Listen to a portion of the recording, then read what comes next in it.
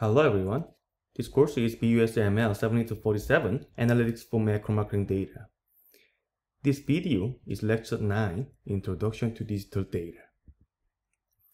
Before watching this lecture, please read this article Marketing Analytics for Data Rich Environments by Michel Wedel and PK Kannan. This is a review article that introduces what we can do with rich datasets now available the article is available at Carmen website.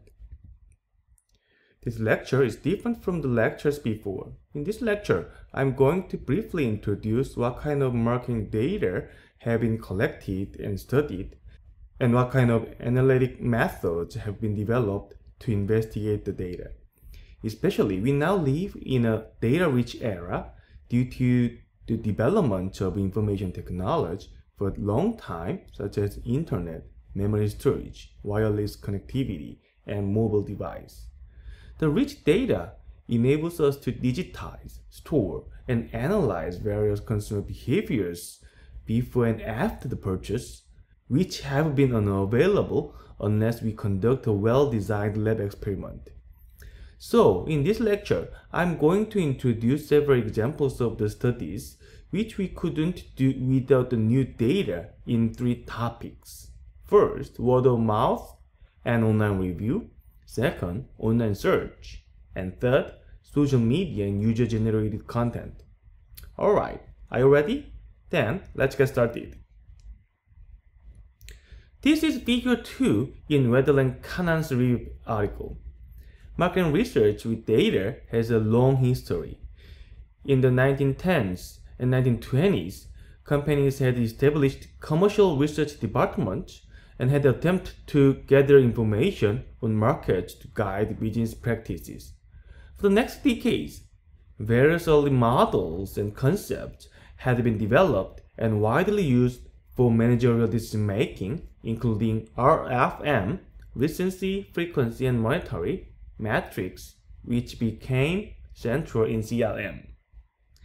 And there was a first groundbreaking development in the 1970s IBM's computerized point of sales, in short POS devices, and the Universal Product Code, in short UPC. This enabled automation of data collection and allowed us to access more granular data. For example, individual customers could be traced through loyalty cards with the POS scanners. In 1995, there was another groundbreaking development, the World Wide Web and the Internet. This development allows us to track page views and clicks, which are stored in server logs. In 1998, Google was founded and it became the champion of keyword search and search data. Through the internet and Google, we are now able to access real data, not the well-designed lab experiment data of what happened before and after transactions, so-called digital footprints of customers.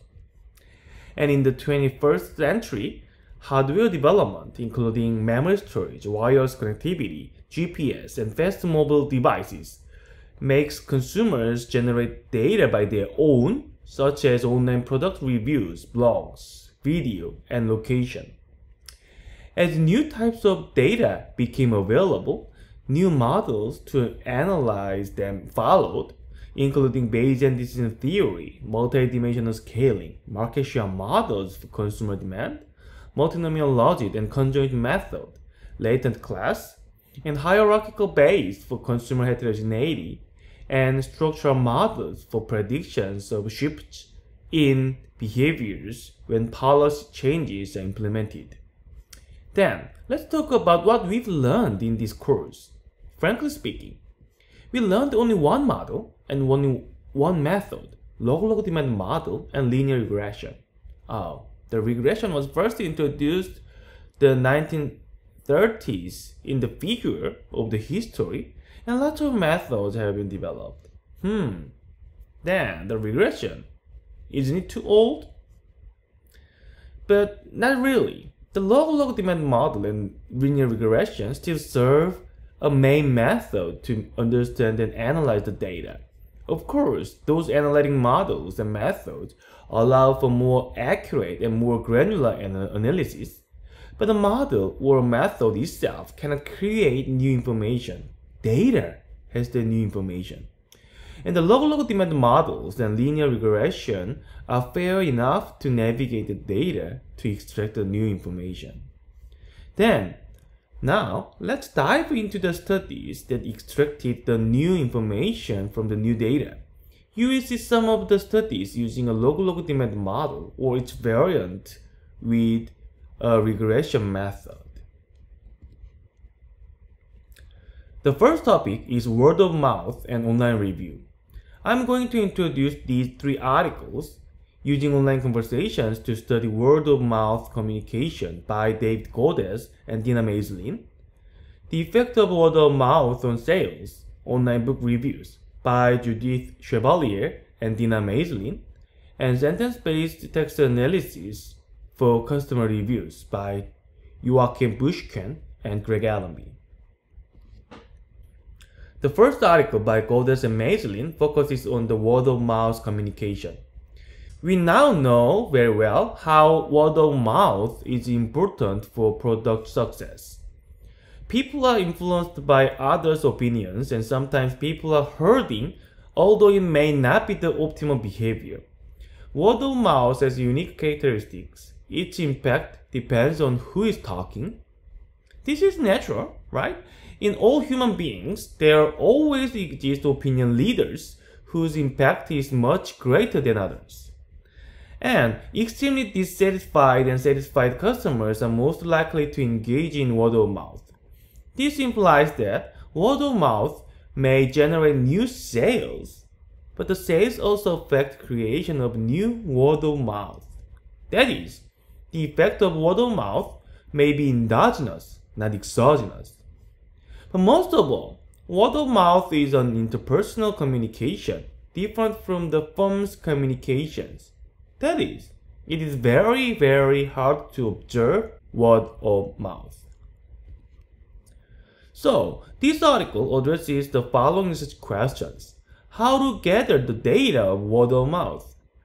And what aspect of word of mouth conversations should be measured?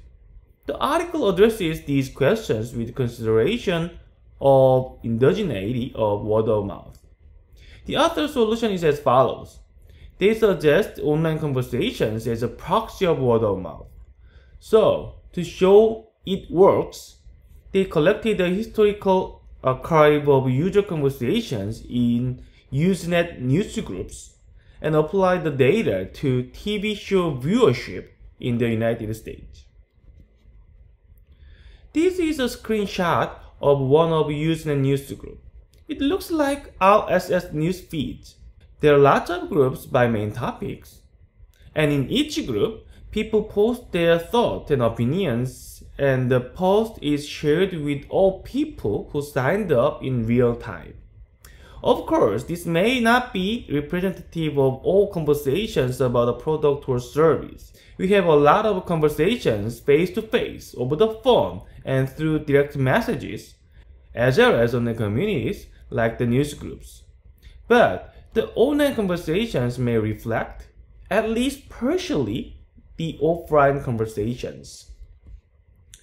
So, here is the list of the variables in this study. First, viewership, which is denoted rating. It is the main dependent variable, and each lagged variable is used as an independent variable that captures people who continued watching the next episode because they had started watching the previous episode. And the authors test various measures of the volume of word of mouth conversations. It is naturally expected that the more the buzz, the higher the viewership. The simplest way to measure the volume is counting the posts about each TV show. This is denoted post. In addition, to consider the valence effect or the effect of the tone of the post, the authors count positive posts, negative posts, and mixed posts separately.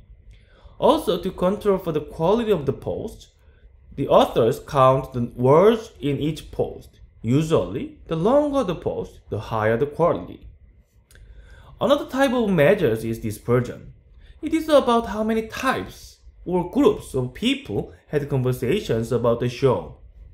If conversations about the show are found across various groups, the TV show is highly likely to be popular. If conversations are found only in one or two groups, the TV show is highly likely to be not popular or a cult. The authors suggest an entropy measure, which basically builds upon the number of groups where the posts appear about each TV show. In addition, there could be a natural increase or decrease in viewership over time, so the authors add the episode number as an independent variable. If each coefficient is estimated to be positive, there would be a natural increase in viewership over time. If negative, there would be a decrease in viewership over time. And this is the base model. It is a regression with fixed effects. There are two subscripts, subscript I for TV show and subscript T for time. The unit of time in this data is the episode. Then, rating IT indicates the viewership of TV show I's episode T. The Bayesian model includes the lagged viewership, the volume of the post, the entropy of the post, the episode number for the time trend, and the fixed effect of the TV shows in analysis. The authors also investigated various versions and extensions with the other variables. Through a series of analyses, the authors found that online conversations may offer an easy and cost-effective opportunity to measure the word of mouth, and dispersion of conversations instead of volume of conversations as explanatory power for TV viewership model and the dispersion effect declines over time. The idea of using online data of user opinion sounds cool, and the next article addresses the impact of online user reviews. Chevalier and Mayzlin collected data from two leading online booksellers, Amazon.com and BarnesandNobles.com. They used the differences in differences method with multi-period observations of about 2400 books to investigate the effect of consumer reviews on firm sales patterns. This is a quick summary of data. Basically, there is sales information, price and sales. The authors use sales ranking variable instead of actual sales amount because of unavailability of the firm's proprietary data. Next, the authors count reviews for each book to capture the volume effect.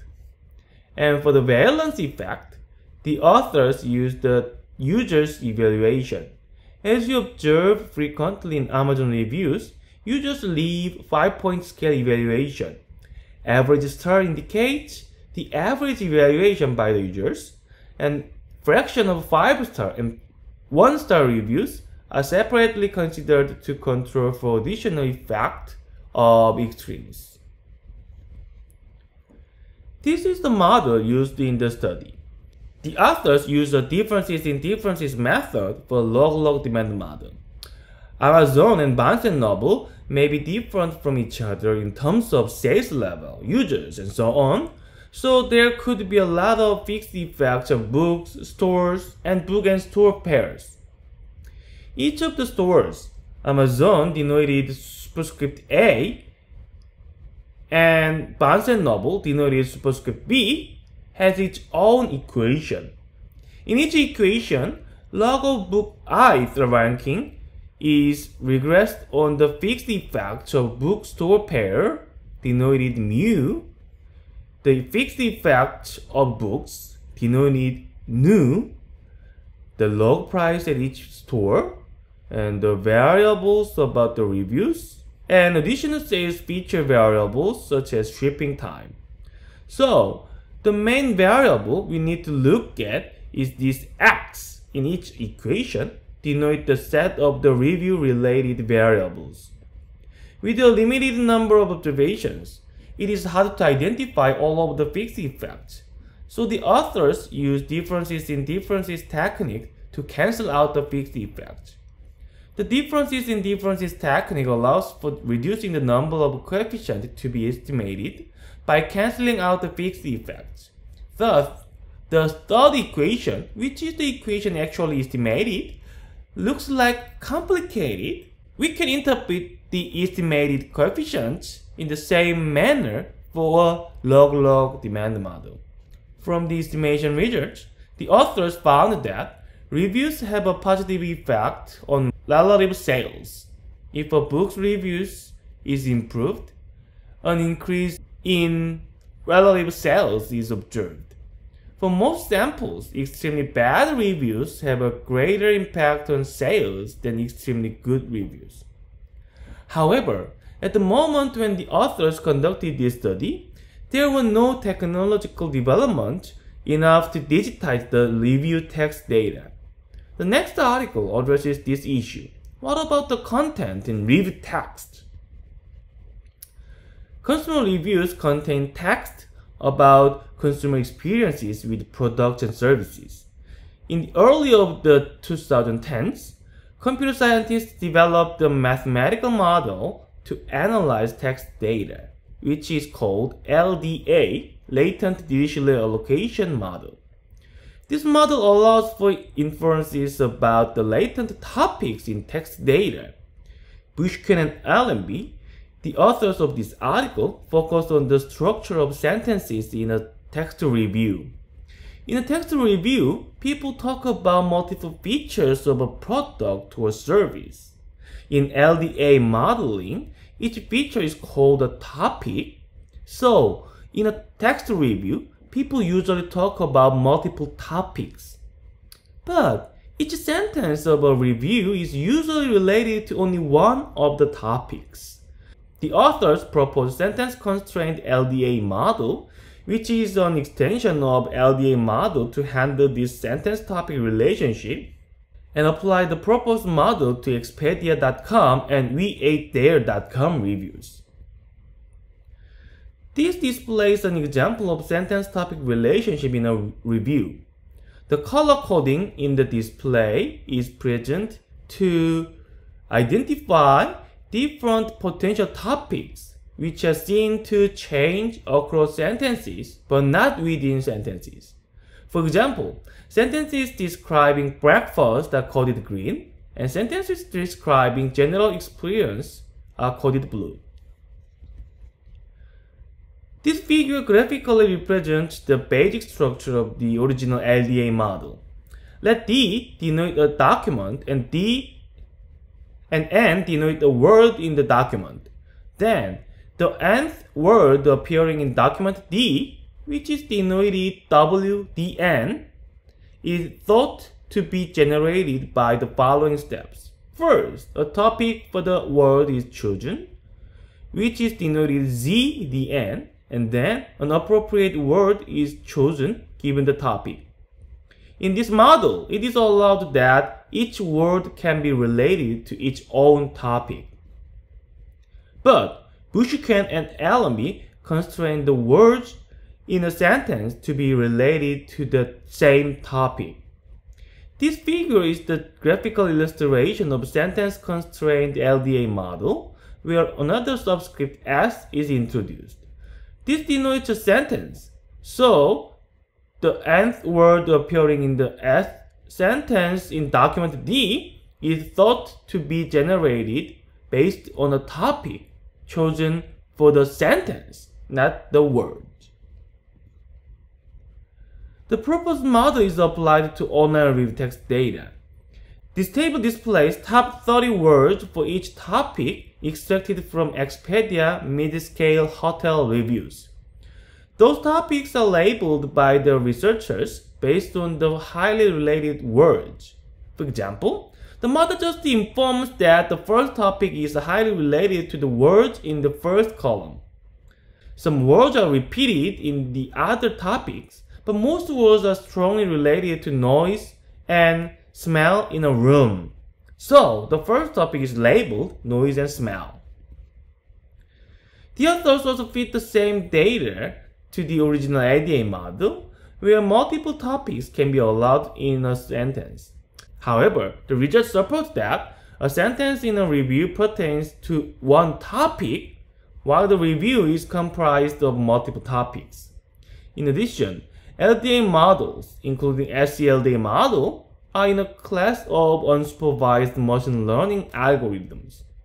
The results from the LDA and SCLDA models can be a good complement of the independent variables in the review response analysis, such as Chevalier and Mayzlin's study.